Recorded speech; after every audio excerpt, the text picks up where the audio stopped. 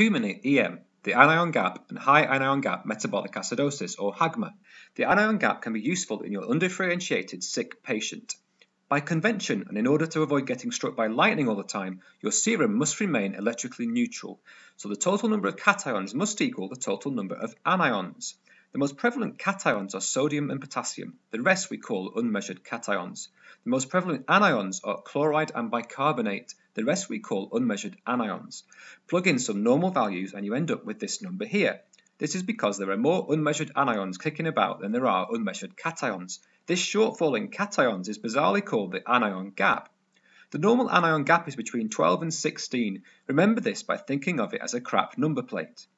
Hagma occurs due to the presence of organic acids. Chuck them into the equation. Now they will come with their own hydrogen ions because they're acids, so the bicarbonate buffer system kicks off. The bicarb goes thank you very much and disappears as it tries to buffer the hydrogen ions. This leaves the anion from the organic acid. It has a big presence on this side of the equation. Putting the numbers in now shows that this number, the anion gap, is massive. This whole scenario is what Hagma is. There are only a finite number of organic acids that can do this to your body. Luckily, there is a mnemonic to help you remember what these or their parent compounds are. I really like cat mud piles. Right, I'll try and do it in one breath.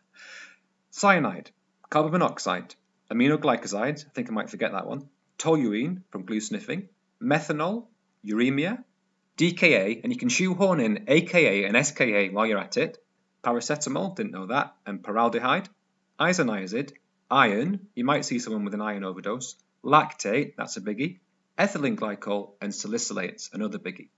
And that's it. So remember, electrically neutral, organic acids, and cat mud piles. Thanks.